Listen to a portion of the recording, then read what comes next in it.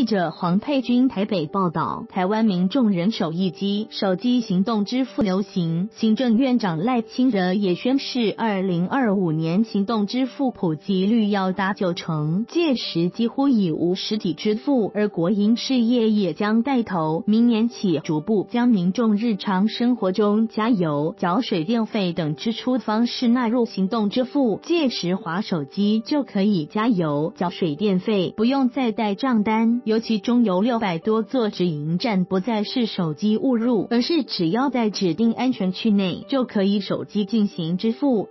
赖奎宣示，二零二五年行动支付九成目标。经民进党立委余婉如也指出，国营事业应起带头作用。他质询油电水等国营事业董座本身是否使用行动支付。台水董座郭俊明表示还没有。台电董座杨伟甫则说已经装了，但还没开始使用。中油董座戴谦则笑说自己没有用，都是太太在用。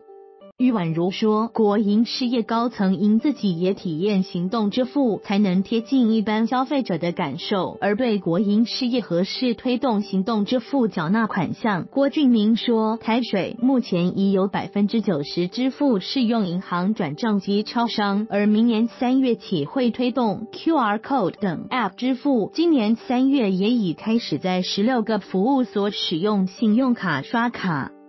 杨伟甫则说，目前台电已经研发台电一柜台 App，可以用来缴纳逾期款项，不用再亲自临柜付款。而目前台电也在与行动支付业者洽谈合作，上半前将启动以行动装置查询缴纳电费。目前合作业者尚未定案，但时程会在六月底前上路。